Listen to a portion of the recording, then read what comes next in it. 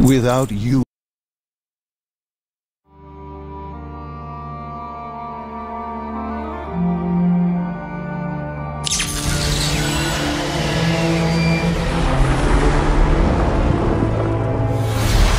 Azeroth, I pray that this, the final plea of the Army of the Light, has reached you intact. The Thousand Years' War has reached its peak, but the nightmare is far from over. This vessel represents our ultimate sacrifice. It must reach the Prophet. He is the key.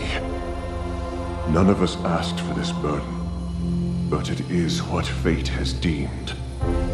Succeed, and the light may yet endure. Fail,